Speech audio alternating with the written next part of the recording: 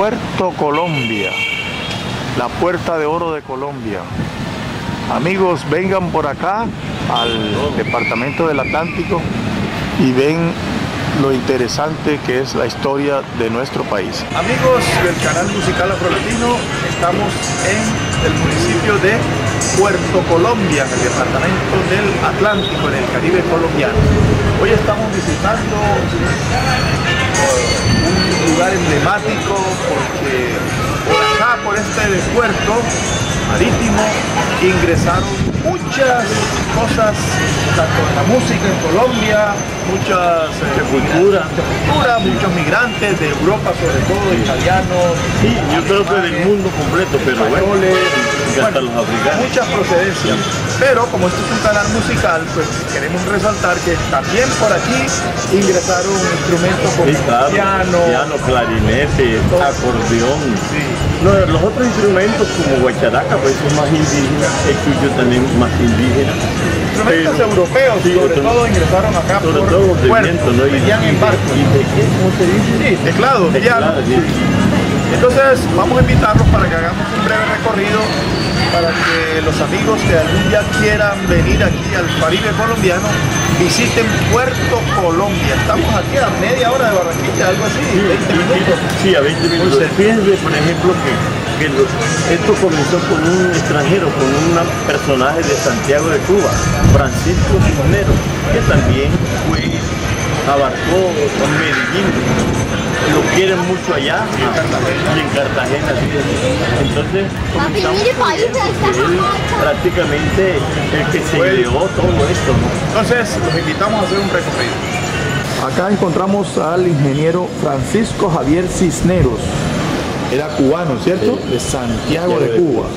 Fue él quien Sí, el que se ideó todo este material para darle como vida, un poco más de vida a las comunicaciones aquí en Puerto Colombia.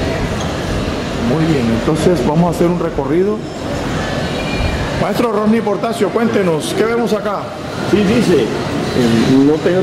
Las colonias de inmigrantes. De todo, eh, alemanes, Sí. españoles, italianos, venezolanos, Sí. sirios, libaneses, dice ahí De curazaeños, Curazao, Cura- palestinos, franceses, polacos y norteamericanos dieron sus primeros pasos en tierra colombiana. Que fueron inmigrantes, ¿no? Y Aportaron su cultura. eh, aportaron su cultura Sí. enriqueciendo la naturaleza del atlanticense, sumaron sus ilusiones y deseos de progreso al pujante tesón de los hombres y mujeres del Atlántico. Juntos trabajaron por el desarrollo de la nación colombiana. Esto quiere decir que, bueno, Colombia es un, como dice, la- por, por acá entró todo. Colombia es un país multicultural, pluriétnico. Entonces aquí estamos mostrándole que también todo esto se refleja en la música. Porque, por ejemplo, Pedro Viava, eh, todos esos músicos italianos que vinieron dejaron huella acá en la, eh, en la música ¿no? Sí. colombiana y del Caribe. ¿no?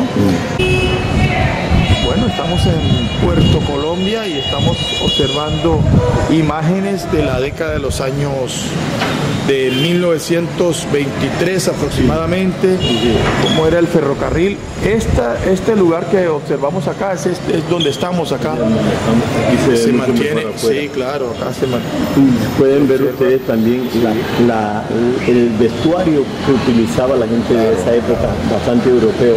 Entonces- y lógicamente como era clima cálido, era ropa blanca. Ya lo vamos a ver acá, vamos a ver unas fotos. Queremos decir que para la década de, comienzos del siglo anterior, del siglo XX, muchas personas en el Caribe colombiano, a pesar de que esto es un clima muy... ¿Cuánto el promedio de eh, 30 y pico, 40 grados acá? No, 28, 28, 29, sí. pero a veces ha habido más. Sí, claro. Entonces lo que quiero resaltar es que esto es eh, ca- caluroso, cálido, y las personas vestían de corbata, de blanco, de vestido. Bueno, mírenlo acá. Esto es herencia europea, ¿no? Sí, y era una época en que todavía esto no estaba lleno de edificios Sí, y, y corría mejor el aire. Y entonces no afectaba tanto que uno tuviera una ropa que, que consideraba no adecuada, ¿no? Pero sí era adecuada. Entonces todas estas personas que eran del pueblo, ¿no? Normales. Bueno, aquí podemos observar cómo era el muelle de Puerto Colombia a comienzos 1887 aproximadamente. Miren acá. Entonces, maestro Ronnie, por acá entró mucha música a Colombia, ¿no? Sí, aquí ya nuestros visos musicales de Beethoven, de todos los clásicos, de los grandes clásicos, vinieron, digamos, la música, lógicamente, y, personajes que venían de allá, aquí lo que primaba, como en todas partes, era la música clásica, después también el jazz, eh, todos estos eh, aires que no eran nuestros, pero nosotros teníamos como como oculto lo, lo, nuestro y todo eso nos sirvió más tarde. Aquí podemos observar el muelle de Puerto Colombia, un lugar por donde ingresaron al país, a Colombia, muchos inmigrantes eh, por allá por la década de los años 20, en su mayoría pues provenientes de Italia y otras, otros países de Europa, bueno, en fin. ¿Qué podemos hablar? Miren estos apellidos, ¿cierto? Javid, Haas, no, todos estos apellidos son europeos. muchos Alemanes, italianos. Dice, ahí, eh, Muelles de Puerto Colombia en 1922, por donde ingresaron al país la mayoría de los inmigrantes italianos y de diferentes nacionalidades.